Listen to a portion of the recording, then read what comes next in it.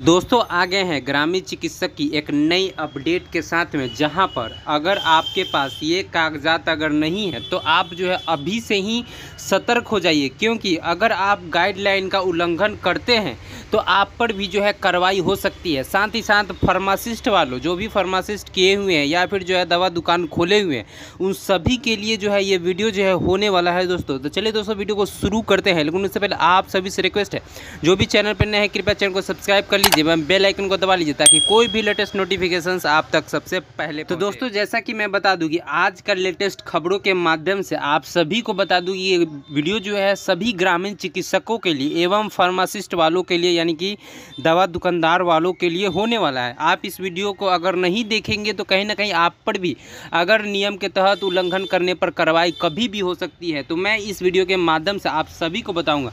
तो मैं बता दूँ कि पहले मामला क्या है। सबसे पहले आप इस वीडियो के माध्यम से पूरा वीडियो को देखिएगा समझिएगा तब जो है आप आप लोग अपना राय विचार जो है दीजिएगा देखिए मैं बता दूँ यहाँ पर कि जो है आपका ग्यारह अप्रैल को दुकान को जो है यहाँ पर जाँच की गई थी सिवान ज़िले में ठीक है उसके बाद जो है गाइडलाइन का जो है उल्लंघन किया गया था गाइडलाइन का जो है पालन नहीं किया गया था और उनसे जो है ज़रूरी कागजात भी नहीं मिले यानी कि जो है उन पर छापे मारे गए दवा दुकानों पे और जहाँ पर जो है ग्यारह अप्रैल के डेट में जहाँ पर उन पाया गया कि जो है गाइडलाइन का पालन नहीं कर रहे हैं उनके पास ज़रूरी कागजात नहीं है और बिना कागजात के वो जो है दवा दुकान चला रहे हैं, जिसको लेकर के ये मामला जो है आपको शिवान की तरफ़ से आया है। तो वैसे जो ग्रामीण चिकित्सक, सभी को मालूम होगा कि जो भी दवा दुकान चलाते हैं या प्रैक्टिस करते हैं तो आपके पास कहीं ना कहीं जो है सर्टिफिकेट होने चाहिए। अगर आप जो है दवा दुकान चला रहे हैं एज अ सिर्फ़ जो है दवा दुकानदार के रूप में तो आपके पास जो है फार्मासिस्ट का सर्टिफिकेट होने चाहिए। साथ ही साथ दोस्तों, अगर आपके पास फार्मासिस्ट का सर्टिफिकेट है तो भी आपको निश्चिंत नहीं रहना फार्मासिस्ट के सर्टिफिकेट के साथ साथ अगर आप जो है दवा का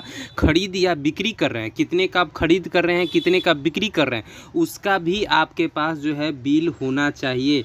अगर आपके पास बिल नहीं होगा तो भी जो है आप पर जो है कार्रवाई हो सकती है। साथ ही साथ जो भी ग्रामीण चिकित्सक जो कि गाँवों में प्रैक्टिस करते हैं तो आप सभी को मालूम होगा कि गाँव में प्रैक्टिस करने के लिए आपके पास जो है सीसीएच का सर्टिफिकेट, यानी कि कम्युनिटी केयर हेल्थ का जो है सर्टिफिकेट आपके पास होना अनिवार्य है, या फिर जो है ड्रेसर का या फिर फार्मासिस्ट का जो है सर्टिफिकेट होना अनिवार्य है, तभी जो है आप गाँव में फ़र्स्ट एड का जो है वर्क कर सकते हैं दोस्तों। साथ ही साथ जो भी आप दवा दुकानों में जो भी खरीद या बिक्री करते हैं, उसका जो है आपके पास बिल होना अनिवार्य होना चाहिए। वही जो है आपको इस पेपर कटिंग के माध्यम से कहा जा रहा है। तो क्या है मामला, वो मैं बता दूँ आप सभी को।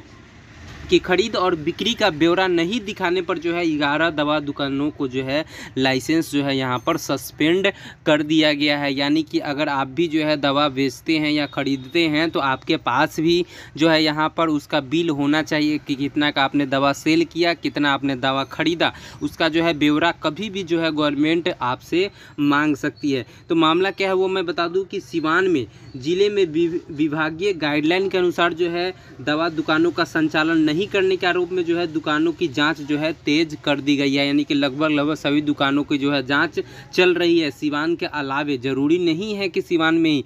अभी आप जिस तरीके से देख रहे हैं कि अलग अलग ज़िलों में जिस तरीके से ग्रामीण चिकित्सक पर छापे मारे जा रहे हैं, या फिर जो है दवा दुकानदारों पर, या या फिर अवैध रूप से जो नर्सिंग होम चल रहे हैं, उन सभी पर जो है छापे मार करके कैसे जो है कागजात जो है आवंटित किए जा रहे हैं, कागजात जो है मांगे जा रहे हैं। तो ड्रग इंस्पेक्टरों के नेतृत्व में दवा दुकानों की जो है जाँच की जा रही है। और पिछले अप्रैल माह में ग्यारह दवा दुकानों को जो है लाइसेंस जो है सस्पेंड किया गया है।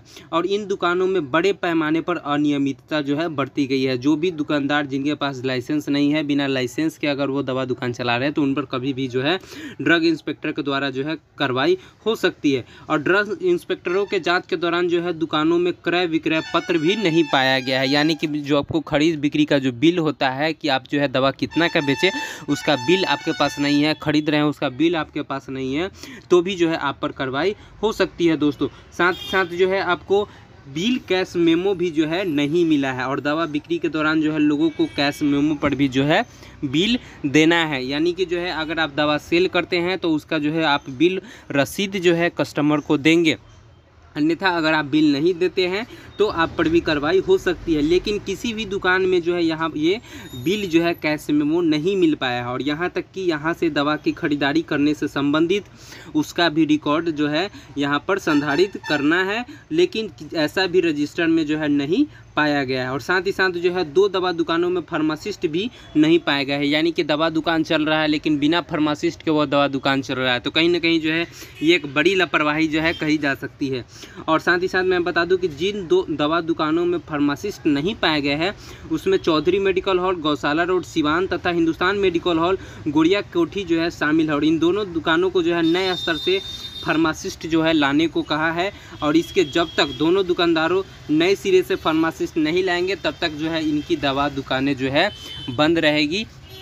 तो ऐसा जो है आपको गवर्नमेंट की तरफ़ से जो है इंस्पेक्शन आया है और उन पर कभी भी जो है कार्रवाई हो सकती है। और साथ ही साथ क्या कहा गया है? गाइडलाइन में तो गाइडलाइन के माध्यम से मैं आपको बता दूँ कि सहायक ड्रग कंट्रोलर ने बताया है कि दवा दुकानों की जाँच के लिए जाँच तेज कर दी गई है। और दवा दुकानदारों को निर्देश दिया गया है कि विभाग द्वारा जारी गाइडलाइंस के अनुसार ही जो है दवा दुकान का जो है संचालन करना है। और किसी भी तरह के नियमावली में अनियमितता पाई जाएगी तो उन पर कार्रवाई की जाएगी। और सभी दुकानों पर जो है हर हाल में फार्मासिस्ट रखने को कहा गया है। जितने भी दवा दुकान है उस पर जो है फार्मासिस्ट बॉयज़ होने होने चाहिए। और जाँच के दौरान फार्मासिस्ट अगर अनुपस्थित पाए जाने पर भी जो है उन पर कार्रवाई की जाएगी। और बताया जाता है कि दवा दुकानदारों द्वारा फार्मासिस्ट का कागजात विभाग को उपलब्ध करा दिया जाता है, लेकिन फार्मासिस्ट दुकानों पर नहीं रहते हैं। इससे बिना फार्मासिस्ट के दवा दुकानों का संचालन होता है। इसके अलावा रजिस्टर्ड जो है संधारित नहीं किया जाता। यानी कि समझने का चीज़ है कि अगर आप दवा दुकान खोलते हैं तो लाइसेंस लेने के लिए जो है वहाँ पर फार्मासिस्ट का सर्टिफिकेट लगा करके जो है आप लाइसेंस ले लेते हैं, लोग ले लेते हैं। लेकिन उसके बाद जब गवर्नमेंट जब उस पर इंस्पेक्शन करती है तो पता चलता है कि जो लाइसेंस ये व्यक्ति लिए थे, ये फार्मासिस्ट के सर्टिफिकेट पर तो लिए थे, लेकिन यहाँ पर तो ये फार्मासिस्ट उपस्थित है ही नहीं। तो कहीं ना कहीं तो ये फर्जीवाड़ा कर रहे हैं। जायज़ सी बात है। और साथ ही साथ यहाँ पर है कि संतोषप्रद नहीं पाए जाने पर जो है इन दुकानों पर भी जो है कार्रवाई की जाएगी।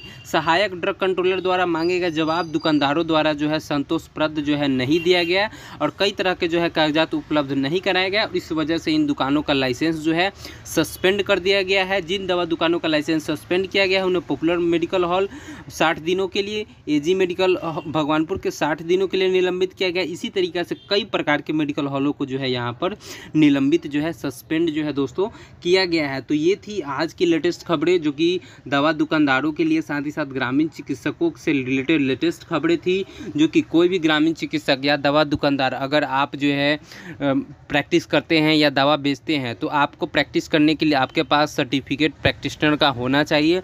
और अगर आप दवा बेचते हैं तो आपके पास जो है, ड्रग लाइसेंस होने चाहिए। ड्रग लाइसेंस के साथ साथ जो है, आपके पास फार्मासिस्ट का सर्टिफिकेट या फिर फार्मासिस्ट बॉय जो है, आपके पास होने चाहिए। साथ ही साथ जो है, आपको बिल क्रय या विक्रय का जो खरीद करते हैं, उसका भी बिल आपके पास पक्का होना चाहिए। और जो बेचते हैं, कैश मेमो जो है, हर कस्टमर को देना है, उसका भी ब्यौरा आपके पास होने चाहिए। तो ये थी आज के लेटेस्ट नोटिफिकेशन, जो कि इस नोटिस के माध्यम से आ रही थी। आशा करते हैं आप सभी को ये वीडियो अच्छा लगा होगा।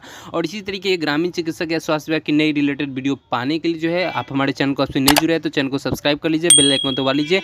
मिलते हैं एक नई नोटिफिकेशन के साथ में, तब तक के लिए धन्यवाद।